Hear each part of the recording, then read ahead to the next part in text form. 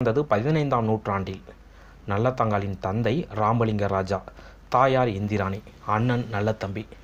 நல்லத்தங்கால் சின்ன பொண்ணாக இருந்தபோதே தாயும் தந்தையும் இறந்து விட்டார்கள். நல்லத்தம்பி தன் தங்கையை செல்லமாக வளர்த்தார். மானாமதுரை காசிராஜனுக்கு நல்லத்தங்காலை மனமுடித்து கொடுத்தார். கல்யாணம் ஆகும்போது நல்லத்தங்காலுக்கு ஏழு வயது. காசிராஜன் நல்லத்தங்காலுக்கு நிறைய பரிசு பணம் கொடுத்தார். சித்திரை மாதம் கல்யாணம் நடந்தது. செல்வ செழிப்பான கல்யாணம். பனைமரம் பிளந்து பந்தக்கால் நட்டார்கள். தென்னை மரம் பிளந்து தெருவெல்லாம் பந்தல் இட்டார்கள் தம்பி தங்கச்சிக்கு நிறைய சீதனங்கள் கொடுத்தான். வேலி நிறைய வெள்ளாடுகள் பட்டி நிறைய பால் மாடுகள் மோர்கடைய முக்காலி பொன்னால் அளக்க நாளி பொன்னால் மரக்கால் பொன்னால் இன்னமும் சீதனங்கள் நிறைய உண்டு. சொல்லிக்கொண்டே போகலாம். கல்யாணமும் முடிந்தது விருந்து சாப்பாடும் முடிந்தது. நல்ல தங்காலும் காசிராஜனும் மானாமதுரைக்கு புறப்பட்டார்கள். நல்லத்தங்காலுக்கு அண்ணனை பிரிய மனமே இல்லை. அழுது புரண்டு அழுதால் ஆபரணம் அற்றுவில. முட்டி அழிதால் முத்துமணி அற்றுவில. நல்லத்தம்பி தங்கச்சிக்கு ஆறுதல் சொன்னான். ஒரு வழியாக நல்லத்தங்கால் மானாமதுரைக்கு புறப்பட்டு போனாள். நல்லத்தம்பிக்கு ஒரு மனைவி உண்டு. அவள் பெயர் மூலி அலங்காரி. அவள் கொடுமைக்காரி. நல்லத்தங்கால் போன பிறகு நல்லத்தங்காலை பார்க்க நல்லத்தம்பி ஒரு தடவை கூட மானாமதுரை போகவில்லை. அதற்கு மூலி அலங்காரி தான் காரணம். நல்லத்தங்களுக்கு ஏழு குழந்தைகள் பிறந்தன. நான்கு ஆண்கள் மூன்று பெண்கள். பிள்ளை குட்டிகளுடன் அவள் சந்தோஷமாக வாழ்ந்தாள். இதெல்லாம் கொஞ்ச காலம்தான். மானாமதுரையில் மழையே இல்லை. பனிரெண்டு வருடமாக வயல்களில் விளைச்சல் இல்லை. மக்கள் பசியால் வாடினார்கள். பட்டினியால் தவித்தார்கள். பஞ்சமோ பஞ்சம் மரக்கால் உருண்ட பஞ்சம் மன்னவரை தோற்ற பஞ்சம் நாளி உருண்ட பஞ்சம் நாயகரை தோற்ற பஞ்சம் தாலி பறிகொடுத்து கணவனை பறிகொடுத்து கை குழந்தை விற்ற பஞ்சம் இப்படி மக்கள் பஞ்சத்தில் சேர்த்தார்கள். நல்லத்தங்கால் வீட்டையும் பஞ்சம் விடவே இல்லை. தாலி தவிர மற்றது எல்லாம் நல்லத்தங்கால் விற்றாள். குத்தும் உலக்கை கூடை முறம் கூட விற்றுவிட்டால் எல்லாம் விற்றும் பஞ்சம் தீரவே இல்லை. குழந்தைகள் பசியால் துடித்தன. நல்லத்தங்கள் யோசித்து யோசித்து பார்த்தாள். இன்னும் கொஞ்ச நாள் நீடித்தால் பிள்ளைகள் பசியால் செத்து போகும் என்று பயந்தாள். ஒரு முடிவெடுத்தாள். அண்ணன் வீட்டுக்கு பிள்ளைகளுடன் கொஞ்ச நாள் போய் பார்க்கலாம் என்றாள். இந்த முடிவை காசிராஜனிடம் சொன்னாள். காசிராஜன் நல்லத்தங்கால் சொன்ன முடிவை ஒத்துக்கொள்ளவே இல்லை. அடி பெண்ணி வாழ்ந்து கெட்டு போனால் ஒரு வகையிலும் சேர்க்க மாட்டார்கள். கெட்டு நொந்து போனால் கிளையிலும் சேர்க்க மாட்டார்கள். கைகொட்டி சிரிப்பார்கள் நீ போக வேண்டாம். கஷ்டம் வருவது சகஜம். நாம் தாக்கு பிடித்து நிற்க வேண்டும். சாணி எடுத்தாவது தப்பி பிழைப்போமடி. வேலி விறகொடித்து விற்று பிழைப்போமடி என்று காசிராஜன் தன் மனைவி நல்லத்தங்காலிடம் பலவாறு சொன்னாள். காசிராஜன் சொன்னதை நல்லத்தங்கால் கேட்கவே இல்லை. இனி தாக்கு பிடிக்க முடியாது என்று நினைத்தாள். சந்தனம் தொட்ட கையால் நான் சாணி தொடலாகுமோ? குங்குமம் எடுத்த கையால் நான் கூலி வேலை செய்யலாகுமோ? என்று சொல்லி நல்லத்தங்கால் அழுதாள். இதற்கு மேல் நல்லத்தங்காலை சமாதானப்படுத்த முடியாது என்று காசிராஜன் தெரிந்து கொண்டான். சரி போய் வா. பிள்ளைகளை பத்திரமாக பார்த்துக்கொள் என்று சொல்லி வழி அனுப்பி வைத்தான். நல்லத்தங்கால் பிள்ளைகளோடு பாசத்தோடு அழைத்தாள். வாருங்கள் பிள்ளைகளா உங்கள் மாமன் வீட்டுக்கு போவோம். அங்கே தின்பதற்கு தேங்காய் கிடைக்கும் மாங்காய் கிடைக்கும். ஓடி விளையாட மான் கிடைக்கும் என்று சொல்லி அழைத்தாள். பிள்ளைகள் ஆசை ஆசையாய் புறப்பட்டன. நல்ல தங்காலும் பிள்ளைகளும் மானாமதுரையில் இருந்து அர்ஜுனாபுரத்துக்கு புறப்பட்டு வந்தார்கள். காடு மலையெல்லாம் தாண்டி வந்தார்கள். வானாந்திரங்களை கடந்து வந்தார்கள். அர்ஜுனாபுரம் பக்கம் வந்து விட்டார்கள். ஆனால் பிள்ளைகளுக்கு நடக்க முடியவில்லை. பசி பசி என்று கத்தினார்கள் அழுதார்கள். அதே நேரம் பார்த்து நல்ல தம்பி அந்த பக்கம் படை பரிவாரங்களோடு வேட்டைக்கு வந்தான். வந்த இடத்தில் நல்ல தங்காலையும் பிள்ளைகளையும் பார்த்தான். அந்த கோலத்தில் அவர்களை பார்த்ததும் கண்ணீர் முட்டி கொண்டு வந்தது. குதிரை அரிதாச்சோ குடியிருந்த சீமையிலே பல்லக்குதான் பஞ்சமோ பத்தினியே உனக்கு. கால்நடையாய் வர காரணம் ஏன் தங்கச்சி? என்று அழுது புலம்பினான். நல்லத்தங்கால் தன் வீட்டு நிலைமையை சொன்னாள். நல்ல தம்பி அவளை தேற்றினான். சரி தங்கச்சி நம் வீட்டுக்கு போ. தெற்கு மூலையிலே தேங்காய் குவிந்திருக்கும். வடக்கு மூலையிலே மாங்காய் குவிந்திருக்கும். காட்டு யானை வாசலில் கட்டியிருக்கும். காராம் பசுவும் உண்டு. போ தங்கச்சி போ. பிள்ளைகளுடன் பசியாரி அங்கேயே இரு என்று நல்ல தம்பி சொன்னான். நல்லத்தங்கால் அண்ணன் இல்லாத வீட்டுக்கு போக தயங்கினாள். அண்ணா நீயும் கூடவா என்று அண்ணனை கூப்பிட்டாள். அம்மா நல்லத்தங்கால் நீ முதலில் போ. உன் அண்ணி மூலி அலங்காரி உன்னையும் பிள்ளைகளையும் நன்றாக கவனித்துக் கொள்வாள். நான் பின்னால் வருகிறேன் சீக்கிரம் வந்து விடுவேன். உன் பிள்ளைகளுக்கு விளையாட புள்ளிமான் கொண்டு வருவேன் என்று சொல்லி சமாதானப்படுத்தினான். நல்லத்தங்காள் அண்ணன் வீட்டுக்கு அரை மனதுடன் புறப்பட்டாள். அப்போது மூலி அலங்காரி வீட்டு மாடியில் இருந்தாள். நல்ல தங்காலும் பிள்ளைகளும் பசியோடு தன் வீடு நோக்கி வருவதை பார்த்துவிட்டாள். வேக வேகமாக இறங்கி வந்தாள். கதவுகளை இறுக்க அடைத்தாள். ஈர மண் போட்டு அடைத்தாள். சோற்று பானையை ஒளித்து வைத்தாள். பழந்துணி ஒன்றை உடுத்தி கொண்டாள். முகத்தில் பத்து போட்டு மூளையில் படுத்து கொண்டாள் மூலி அலங்காரி. நல்லத்தாங்கால் வந்தாள். அண்ணி அண்ணி என்று ஆசையாக கூப்பிட்டு கதவை தட்டினால் கதவு திறக்கவே இல்லை. கால் கடுக்குது அண்ணி கதவை திற. தண்ணீர் தண்ணீர் என்று தவிக்கிறான் பாலகன். அன்னம் அன்னம் என்று சொல்லி அலைகிறான் பாலகன். புத்திரர் பசியார கதவை திறவாயோ என்று அழுது கூப்பிட்டாள். அதற்கு கதவு திறக்கவே இல்லை. நல்லத்தங்காலுக்கு கோபம் வந்தது. நான் பத்தினியானால் கதவு திறக்கட்டும் என்று கட்டளையிட்டாள். கதவுகள் திறந்தன. பிள்ளைகள் உள்ளே ஓடினார்கள். சுற்றி சுற்றி வந்தார்கள். ஒரு பண்டமும் இல்லை. மூலி அலங்காரி படுத்திருந்த இடத்தில் தேங்காயும் மாங்காயும் குவிந்து கிடந்தன. ஓடிச் சென்று ஒரு பிள்ளை தேங்காயை எடுத்தது.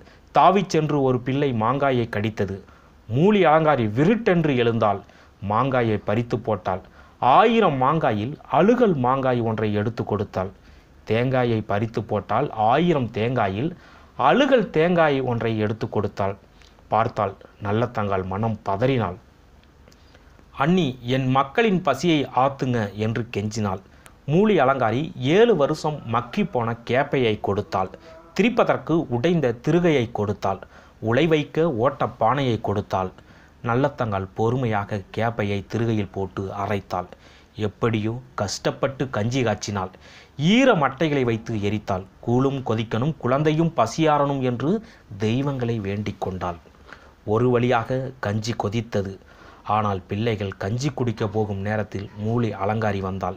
பானையை தட்டிவிட்டால் பானை உடைந்தது. கூழ் வலிந்து கீழே ஓடியது. பிள்ளைகள் அதை வலித்து குடித்தார்கள். நல்லத்தங்காலுக்கு இந்த காட்சியை பார்க்க சகிக்கவில்லை. இனியும் அவமானப்பட வேண்டாம் செத்து விடலாம் என்று முடிவெடுத்தாள். பிள்ளைகளை கூப்பிட்டு தெருவில் இறங்கினாள். வீதியில் நடந்தாள் அவளை பார்த்தவர்கள் பரிதாபப்பட்டார்கள். சாப்பிடுவதற்கு தாங்கள் வீட்டுக்கு அழைத்தார்கள். பச்சரிசி குத்தி தாரோம் பாலும் கலந்து தாரோம் பாலரும் நீயும் பசியாரி போங்க என்று கூப்பிட்டார்கள். நல்லத்தங்கால் மறுத்து விட்டாள். அரச வம்சம் நாங்கள் அண்டை வீட்டில் தண்ணீர் குடிக்க மாட்டோம் என்று சொல்லிவிட்டாள். காட்டு வழியே பிள்ளைகளை கூட்டி போனாள். பாலும் கிணறை தேடி போனாள். அண்ணன் வந்தால் அடையாளம் தெரியட்டும் என்று ஆவாரம் செடிகளை ஒடித்து போட்டுக்கொண்டே போனாள். நல்லத்தங்காலும் பிள்ளைகளும் நெடுந்தூரம் வந்துவிட்டார்கள் ஒரு கிணற்றையும் காணோம். அப்போது சிறுவர்கள் ஆடு மேய்த்து கொண்டிருந்தார்கள். அவர்களை பார்த்து நல்லத்தங்கால் கேட்டாள். தண்ணீர் தாகமப்பா தண்ணீர் குடிக்கணும். பாலும் கிணறு இருந்தால் எங்கன்னு சொல்லுங்கப்பா என்று கேட்டாள். ஒரு சிறுவன் ஓடிச் சென்று ஆழமுள்ள பாலும் கிணற்றை காட்டினான். நல்ல தங்கால் பிள்ளைகளோடு அங்கு போனாள். கணவன் கண்ணில் படுமாறு தாலியை கலற்றி கிணற்று படியில் வைத்தாள். அண்ணன் கண்ணில் படுமாறு பாலூட்டும் சங்கை கிணற்று மேட்டில் வைத்தாள். அண்ணி கொடுத்த அழுகல் தேங்காயை ஓர் ஓரத்தில் வைத்தாள். ஒவ்வொரு பிள்ளையாக கிணற்றில் தூக்கி போட்டாள். ஒவ்வொரு பிள்ளையும் பயந்து பயந்து அம்மாவின் காலை கட்டி கொண்டன. காலை கட்டிய பிள்ளைகளை பிடித்து இழுத்து கிணற்றில் போட்டாள். இப்படி ஆறு பிள்ளைகளையும் போட்டுவிட்டாள். மூத்த பிள்ளை நல்லத்தங்காலுக்கு பிடிபடாமல் ஓடினான். என்னை மட்டும் கொல்லாதே என்னை பெற்ற மாதாவே என்று கெஞ்சினான். தப்பி பிழைத்து அம்மா நான் தகப்பன் பேர் சொல்வேன். ஓடி பிழைத்து அம்மா நான் உனது பேர் சொல்வேன் என்று சொல்லி தப்பித்து ஓடினான். ஓடிய பிள்ளைகளை நல்லத்தங்கால் ஆட்டு இடையர்களை வைத்து பிடிக்கச் சொன்னாள். இடையர்களுக்கு விஷயம் தெரியாது. தாய்க்கு அடங்காத தருதலை பிள்ளை என்று நினைத்து அவனை பிடித்து கொண்டு வந்து நல்லத்தங்காலிடம் விட்டுவிட்டு போய்விட்டார்கள். நல்லத்தங்கால் கதறி அழித மூத்த மகனை கிணற்றில் பிடித்து தள்ளினாள். பிறகு தானும் குதித்தாள். நல்லத்தங்காலும் ஏழு பிள்ளைகளும் இறந்து மிதந்தார்கள். நல்லத்தங்காலுக்கு பதினாறு அடி கூந்தல். அவள் கூந்தல் கிணறு பூராவும் பறந்து கிடந்தது. பிள்ளைகளும் தெரியவில்லை கிணற்று தண்ணீரும் தெரியவில்லை. நல்லத்தங்காலின் கூந்தல் மட்டுமே தெரிந்தது.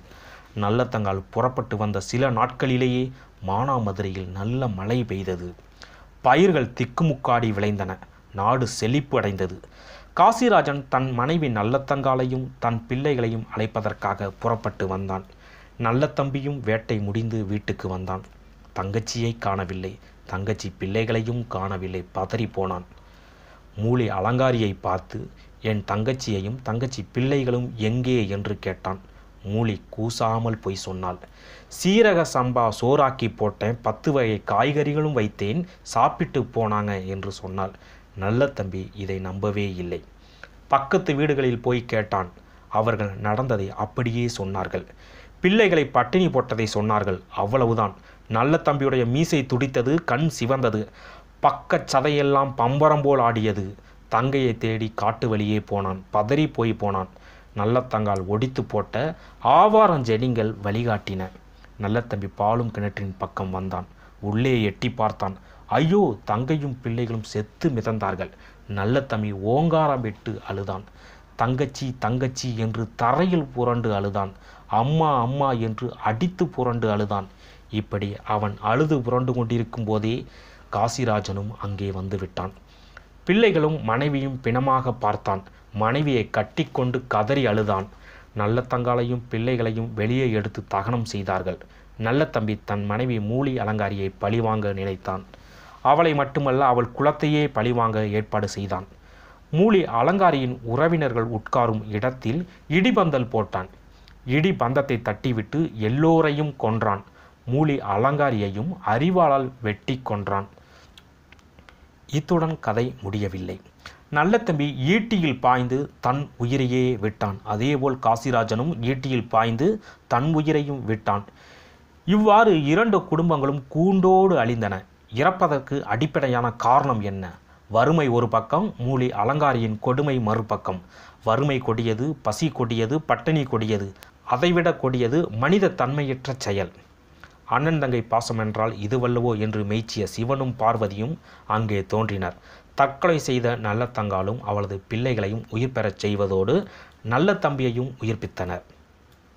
அப்போது நல்ல தங்காலும் நல்ல தம்பியும் நாங்கள் இறந்தது இறந்ததாகவே இருக்கட்டும். மனித பிறவி எடுத்து மாண்டவர்கள் மீண்டும் உயிர் பெற்றார்கள் என்ற வரலாறு ஏற்பட வேண்டாம். எனவே நாங்கள் இறந்ததாக கருதி அருள் புரிய வேண்டும் என்று கூறினார்கள். சிவனும் அவ்வாறே அவர்களின் வேண்டுகோளை ஏற்றுக்கொண்டார். இந்த ஒரே காரணத்துக்காக நல்லத்தங்கால் தெய்வமாக்கப்பட்டாள். அர்ச்சுனாபுரத்தில் வயல்வெளிக்கு மத்தியிலே கோவில் கொண்டுள்ளாள் நல்லத்தங்கால் கருவறையில் நல்லத்தங்கால் சிலை கம்பீரமாக வடிவமைக்கப்பட்டு உள்ளது ஏழு குழந்தைகளின் சிலை இன்னொரு சன்னதியில் இருக்கிறது. அருகிலேயே நல்லத்தம்பியும் வீற்றிருக்கிறார். சற்று தொலைவில் ஒரு பாலடைந்த கிணறு சிதைந்து போய் கிடக்கிறது. நல்லத்தங்கால் குழந்தைகளுடன் தற்கொலை செய்து கொண்டது இங்கேதான் என்று கிராம மக்கள் சுட்டி காட்டுகிறார்கள் ஏராளமானோருக்கு நல்லத்தங்கால் குல தெய்வமாக இருக்கிறாள் ஒவ்வொரு ஆண்டும் ஆனி மாதம் பொங்கல் திருவிழா நடைபெறுகிறது. ஆடி மாதங்களில் நல்லத்தங்காலின் உறவினர்கள் வழித்தோன்றல்களாக வந்தவர்கள் மானாமதுரையில் இருந்து இங்கு வந்து விழாவில் கலந்து கொள்கிறார்கள். மாதந்தோறும் பௌர்ணமி பூஜையும்